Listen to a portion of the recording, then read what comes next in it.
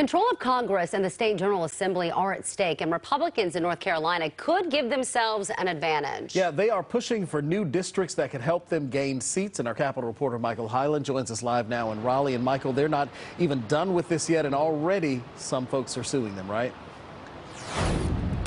Right, this is very unusual. Some Democrats are accusing the Republicans of what they're calling extreme gerrymandering. This could all end up before a judge soon.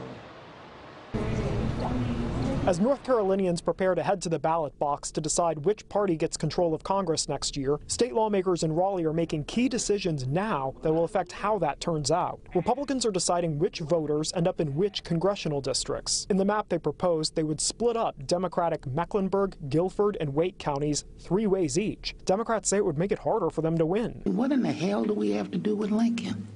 That doesn't make sense to me. The Princeton Gerrymandering Project analyzed the map, saying it would likely give Republicans 10 of the state's 14 seats and graded it an F for fairness. I have not looked at any partisan data to make any determinations as to how, what the outcomes of this map would be.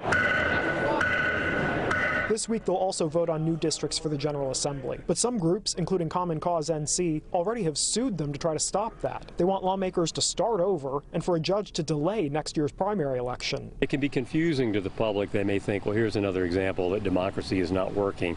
And indeed, it is not. They argue lawmakers need to consider racial demographic data of voters to ensure they're compliant with the Voting Rights Act. Courts previously threw out maps Republicans drew due to racial gerrymandering. This time, Republicans say they're not considering that data as they draw the maps. You know, last time they sued us because we use race. This time they sued us because we don't use race. And uh, quite frankly, we're all prepared for uh, any lawsuits are coming try to achieve their partisan advantage.